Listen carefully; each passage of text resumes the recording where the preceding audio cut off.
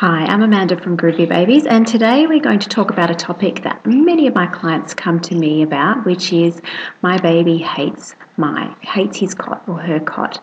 Now, there are a couple of reasons why babies do resist going into uh, a different sleep surface, and mainly the first one is that the baby is not really that familiar with maybe the cot.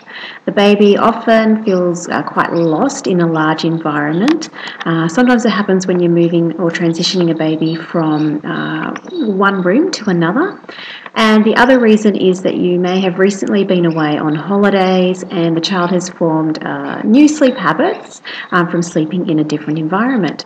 So, you know, first things first is really when you're popping your baby down into um, the cot, just check your emotions and your behavior in regards to your bub.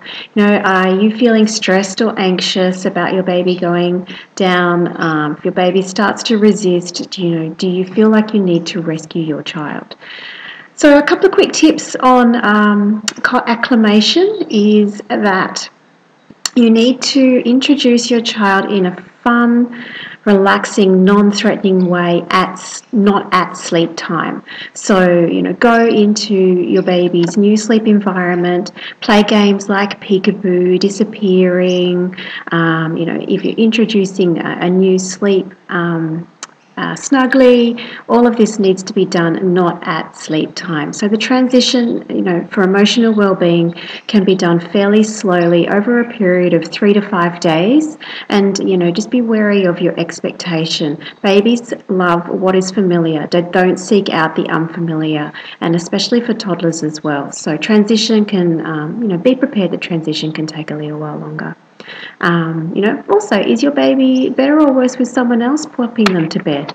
Um, yeah, so I hope you've enjoyed those tips. Need to work on the emotional well-being surrounding happy transitioning. And uh, yeah, if you've got any questions, feel free to touch base. Amanda at groovybabies.com.au. Thanks.